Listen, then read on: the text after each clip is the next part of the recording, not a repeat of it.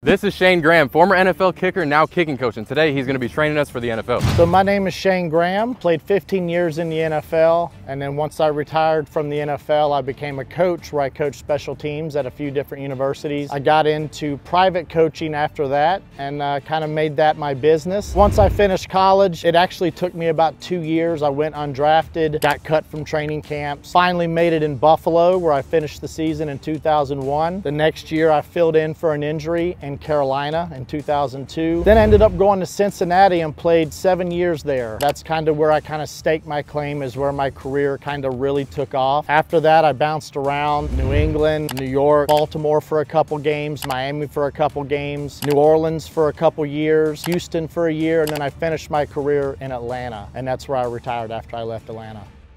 How you feeling today, bro? I got treatment done yesterday, got dry needle, so that's good. Body's feeling pretty good, legs feeling pretty good. I mean, we gonna see. This is my first time ever working with a kicking coach. I've never been coached how to kick field goals. I've never been taught how to kick, anything like that. It's all just been me. I grew up playing soccer, and now we're here. We gonna see what he thinks. He could tell me I'm complete trash, and maybe everything you guys see on the internet is just fake anyways. We gonna see today. What you So- want to start with? I'm kind of just gonna So, follow what you say. Do you 'cause have a routine you typically do? It's funny you ask that, Shayne, because normally I start out with some regular stretching. And I like to listen to music while I'm doing it, which is why I got my Raycon everyday earbud. And y'all might think I only listen to rap music at the field, but really I'm a country guy, so that's what I'm listening to right now. Nobody thinks you listen to rap music. We know. Plus, Raycons offer amazing audio quality at half the price of other premium audio brands. And if you don't believe me, just look at their tens of thousands of five-star reviews. I bring my Raycons to the field with me every day, and because of their 8 hours of playtime and a 32-hour battery life, I don't have to worry about charging them every single time I go. And because of their noise isolation and three customizable sound profiles, I don't just wear them at the field. I wear them at the gym, in the airport, and while I'm editing videos too. Unlike other brands, Raycons come in a wide variety of colors for you to choose from. And the best part is the optimized gel tips keeps them in my ears no matter what workout I'm doing, which is especially good when I'm kicking. What a ball. Nah, seriously, these things do not fall out of my ears. Click the link in the description box below or go to buyraycon.com slash botkin to get 20% off your purchase plus free shipping. Thank you to Raycon for sponsoring today's video. Now we're warmed up, let's get back into it. I usually just come out and sky punch is kind of like my warm up to just like swing my leg vertical. Okay. And then tap some one steps, one and a half steps and kind of just, Have you ever Go. done no steps? yeah, they're kind of my enemy. But We've no one's ever before. shown you how to do it, correct? Not, not correctly. So I'm most people, that's falling back. yeah, and that's that's what we're going to do because no step kicks, in my opinion, are are very important for ball contact and making sure you're keeping an inside-out swing path. I think a lot of times I see guys do it and they fall backwards. Their momentum of their chest is ahead of the ball before they hit it. So they have to get behind it in order to hit it because when we kick a football, we're never ahead of the ball. We're always behind it. So there's a way to do it where we'll be able to get your momentum through and push your swing down towards the target. Cool. I'm gonna just follow what you say. You're the pro, you're the Okay. coach. We can start out with one ball. We'll be fine with one ball right now. So I've seen Adam on the internet kicking footballs. I know he's got a strong leg. I know he's got a lot of potential. I'm curious to see if there's any things we can work on. You know, you see someone who's able to strike the ball well. There's not always a lot to fix, but there's always little things you can fine tune and, you know, and just kind of polish the edge. So that's kind of what I'm looking forward to today is, is maybe just having a little bit of a polishing of an already sharp edge. To start off, typically if we're gonna plant about right here, where I want you to be is one footprint wider and I want you to pull your toe back to the paint, the end of the paint. And the reason why is if we're up here in our plant, when we're making contact, our chest and body's already ahead of the ball. That's why guys fall backwards because it's the only way they can get behind the ball. The angle of my, my femur and my tibia and fibia are almost straight down. So when we're kicking, we're actually at, at more of this angle. But we have body lean because of centrifugal force because of the movement and momentum. So why I say move over one footprint and back is so that you can kind of create that lean. So this is what I call a no step pass. This is really just loading my quad. So I'm really just bending my knee and putting my foot kind of behind my glute. It's important that it's not here, it's back behind the path that I'm gonna swing from, which is this direction here. Hopefully I hit it good on the first try. Okay, so let's move this up. Start out showing your foot to the ball. Just one of those. That's all we're looking for. Okay, right, so here, back. Pretty dang good for the first time. Say it feels so weird, but I guess I'm not falling back as bad. You're not falling back, but it's different, okay? And the reason that this makes more sense is your foot and your body are in the right place. Really focus on trying to kick your foot through the ball to where they're coming out where those laces are. Okay? I'm telling you, It was better, a lot of guys doing one. it for the first time don't hit it that well. So the workout we're gonna do today is really gonna be just observation and then maybe a little bit of, uh, you know, taking through some of the drills and things that I think can help polish a kicker. I think there's not always things that need to be fixed, but yet I think if you show someone certain routines and certain things they can do, it can help them create that comfort level that puts them in a place where their routine gives them confidence and that allows them to have all the days that they kick be in a confident level so that they're comfortable when they ever do get to do other things where they're uncomfortable. Now, how far do you normally hit your one steps? Wherever you want me to. I like warming up closer. Usually I kick on that side and there's the road over there. So Yeah, I, I usually yeah. kick them pretty far. And if I miss short, then I do. For sure. Um, that way we don't have to chase over the fence. But I'll, wherever you want me to warm So up. let's just go. I mean, I always Ideally, hit mine. yeah, from, that's what I I, always hit mine from 35. My thought process is exactly what you kind of already negated with the with the no steps. Yep. But with a one step, I'm in such like a try and force it Uh-huh. kind of thing. So I feel like that jab step, like if I kind of just bring it back a little bit and I'm just jab like this, it kind of I mean that gets me going that towards looks the ball. great. Okay, so so I'm not gonna have you change any of that. Okay. But here's what I want. I want you to imagine that your chest is pointing towards that cone. Okay. Okay. A lot of guys want to point their body towards the ball, Mm-hmm. but your body doesn't go to the ball. Your body comes through this space right here. Pretty daggone good. Did you feel like you did anything different? You probably didn't, right? No, it wasn't too different. I just tried to hold this a little bit, Uh huh. which is why I feel like it kind of So, faded so on me a little rather bit, than but- holding it, Yeah. I just want you to think extend. Let's try this. Back up, put your uh, right toe where your left heel is. Allow yourself more drive Okay. to get through this. How'd that feel? Good. Way more Yeah. power on it. Yeah, and you really probably didn't even have to swing harder, did you? No. So that drive step, your your really short drive step, Yep. what can happen is when you get into your full swing, you might start to gallop versus picking your feet up and actually driving. For sure. No, so my I, I just, I just don't want your body to feel this. I Right. want it to feel that versus up and down. For sure. And the other thing that I'm noticing looking at a little bit of your film from my phone is you throw that left shoulder across pretty hard. Yeah. So put that left shoulder across your body right here. Okay, get a little bit like you're like bent over at the waist. So you're here, now pick your follow through up as far as you can get it. Okay, actually get down a little lower. All right, now do it. Now, straighten up, put your arm right here, now follow through. Yeah. It's a lot easier to get your foot up sure. without without this blocking it when you're doing it. Now, my retirement belly might be getting in the way for me, but when I stand up, Yeah. my follow through goes up much easier to here. For sure. But if I'm here, ugh, Yeah. that's as far as it'll go. So put this over your shoulders. Try not to bend it like a squat bar. And I want you just real easily without like bending it over your back and just do some swings where you control your upper body. Just like kind of full steps jog. Yep. Okay, you feel the difference in how that keeping your chest ahead of your shoulders lets you actually swing up and through Yeah. versus punching at it and finishing over to the side. I feel like me taking diagonal steps makes me not think about are my steps right? Is There- this right? It's kind of just like it's free. Just it's just me and the ball, and let's just kick. There is something to that, and, and I can explain some of that later. You just want me to? I just want you to hit it. Okay, so let's make sure we put our next ball this exact same spot.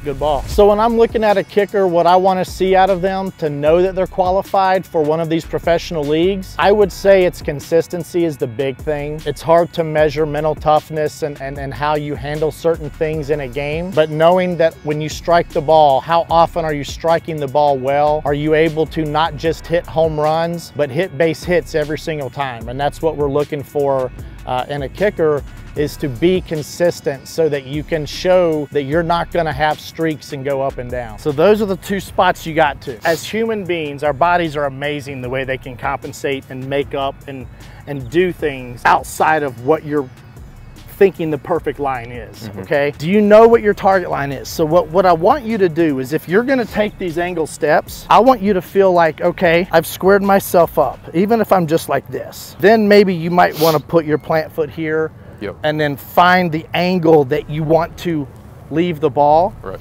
The reason I like stepping backwards straight is I can square up directly to my target mm-hmm. and I can walk directly away from it. Then I can fix it if it's not quite right. Then I put my toes together. I draw the line on my toes and then I make sure that my plant foot is pointed to my plant spot. Then I step back up into my stance so my hips are taking me to that space left of the ball. And then from here, I look up one time and I bring my shoulder so that my right shoulder lines up going to the ball so my chest is left of it. And then I can be here. So there's consistency and there's there's there's science to why I do it a certain way. If you want to keep it your way, I'll still show you things within your stance that can help still make you a little more consistent. So the big thing I want here this left foot always has to go there. The one thing I try to tell guys is with my jab step, I want to feel like most of my weight's on my front foot. I have a little flex in my front knee. My back knee, I really don't want a lot of weight on it. Mm-hmm. But when I lift that left leg up, it lets me fall like a tree. But I want you to try to think about if your foot drives through the ball into the, the bottom part of those laces, then you're not thinking so much chipping as it is driving the ball through contact and compacting to your foot and then lifting so the ball gets the natural height Okay. without trying to kick it high. Okay, you struck that ball pretty solid, didn't you? I just tried to not think about it. Just, Yeah. Just do me. But you can see where you hit the ground about right here, Yeah. you hit the ground over there before. Mm-hmm. And you still hit the ground and popped your toe a little bit, which is why Yeah. you hit that outside panel. So let's just try to hit hit another one here. That sounded and That looked really good. I How kept it more feel? narrow in my back. I feel like sometimes I'm, I gotta kick this hash, so I'm widening out Yeah. my steps like this. Same thing if I were, you know, same thing with with yours. If you're taking your diagonal steps, you're Yeah. whatever, not diagonal steps. You're Yeah. taking your straight steps and it's at a little wider angle. So, So I tried to just it- kick it- it, regular, like if normal. that's the way you're going to do it, Yeah. you've got to do it so many times For that sure. you build that confidence that you know you're doing it right. yeah. and and and that's the thing is you have to have conviction and confidence in it Yeah. if you're going to do it that way I'm definitely confident in it. I've just never been told minor details that are Yeah. gonna. You, you said I was too wide, so I'm gonna fix that, and now Yeah. I'm gonna rem- I'm gonna remember that every single time. Do you have different uh, ball tilts, or you kick it the same every single time? i kick Like it the same one, way every you, single time Would you have your holder like? the only thing i would do is, is i would have my holder try to keep the ball relative to the target line Yeah, so like this one, you would do it as if you were kicking like this. exactly Oh, I'm just that one just So it- mentally got me. Might have scared you a little bit so i normally only do that with uh, like one steps and no steps because it kind of gets in your head a little Yeah, So let's not mess too much with that. But what I want you to try to do here is since you tend to swing across, let me see if you can extend your foot just inside that right upright. I'm not saying kick the ball there. right. I'm saying try to keep my follow through from coming across. Okay. I can tell you fought to do that, right? Yeah, What did that ball feel like on your foot? it was way better. That's the best. really probably good, the best contact wise. It wasn't Yeah. the greatest ball that I hit. It, I mean, it went in, but So- like it's not the best ball I hit, but it felt the best. So what that did is it fought you from coming outside in across the ball Yep. and it kept you inside out. Now, the ball veered off a little to the right, but it stayed straight, right? Yeah. Ball didn't have any hook to it. No, it was just true. Now do the same thing going down the middle. Your swing path was okay. Yeah. You got a little bit of turf. Yeah. Okay, I think there's a little bit of soft stuff going on here with the turf, but your swing path was where it needed to be because where'd Yeah. the ball end up? Yeah, That was Dead that was center. the best ball of the day, probably. Yeah, but honestly, guys in the NFL, very few guys live in A plus world. Very few guys live in A world. Yeah. Most of them live in B plus. Right. And B plus is still pretty damn good for most of these guys, but they have to learn not to be negative because it's not an A or an A plus. Right. So B plus world, you just want to avoid the B minuses and the C's, all that. I know C's get degrees, but when you're kicking, you get lucky with. C's. You You know what I'm saying? C's are lucky. I feel like on that one, focused on the follow through aspect, I feel like a lot of it I've been so mentally focused because we're out here working, like I'm just gonna swing through the ball and everything's gonna happen. Yeah. And I'm kicking terrible balls. That one I just tried to, I'm a skip through guy. Yeah. So I just kind of focused on like the latter half. That's, you can't get away from a follow through. Yeah. Shoot a basketball like this. ab- ain't good. You got- absolutely. when I watch this back, I'm gonna be like, yeah, I've been just ending it there this entire time, but you haven't seen me in person, so you wouldn't have picked up on it. But I'm definitely, Yeah. I feel like that's what keeps my swipe down the line almost, is I'm here and then I'm here. Yeah. Not that drastic, but you get what I mean. Yeah, I think having such a large presence on the internet is going to bring some awareness, but I definitely think you still have to find a way to get in front of some coaches. There are some regional combines. There's some guys out here that have these invitational combines where they bring NFL coaches and pro level coaches to come see guys and evaluate guys. I think that's ultimately going to be the ticket to get the exposure of eyewitness from these coaches and scouts. But I think the awareness uh, is there. I mean, and I think we've all seen that Adam can hit a really good ball. It's just a matter of being able to do that in front of the right people. You need to do, because you haven't kicked in a game in so long, when's the last time you did a slow jog from the sideline and lined up and kicked a field goal like it was a game situation? I haven't done slow jogs. I'll do like thunder reps where Okay, it's, um, like the Mayday last. Yeah, yeah, okay, hurry up, that's great. I I will tell you but- this though, I practice those a lot. yep, In four years of starting in high I school, ain't gonna do them. Four years of college, 15 years in the NFL, two years of preseasons but not playing in the NFL. All that time, I never had one Mayday field goal. Always practice it. Always Yep. practice weird situational things. Always have those in your brain. But you need to practice that it's fourth down, middle of the quarter, mm-hmm. jogging out with tempo, figuring out what's my tempo, how fast, to slow do I jog, whatever it is, setting up your steps, whatever it is you do, because the first time you get into a game, what that does is it creates the, the buildup and the crescendo of this is a special moment and you don't want that. You want to practice it enough, at least five times on kicking days, where you can feel like I'm just going to go out and kick this like it's a normal fourth down, okay? Because that then creates that comfort zone that when you finally get to do it, you've done it and it's Yep. and it's normal. Versus I haven't done this since Montana, you know, like you you need to like know that that feeling. But hey, I appreciate you coming out here. Yeah, Yes, sir.